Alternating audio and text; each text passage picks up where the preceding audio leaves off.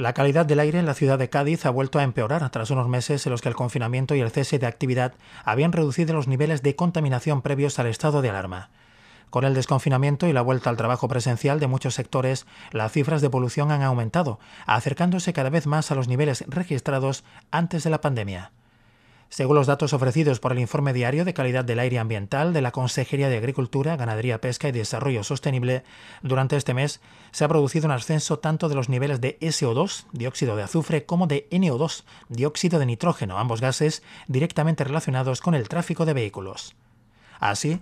mientras que el día 16 de marzo, el primer lunes de inicio del confinamiento, el aire presentaba unos valores de SO2 de 1,1 microgramos por metro cúbico y el mismo día en abril contenía 1,02 microgramos, el 11 de junio estas cifras eran ya de 3,54 microgramos.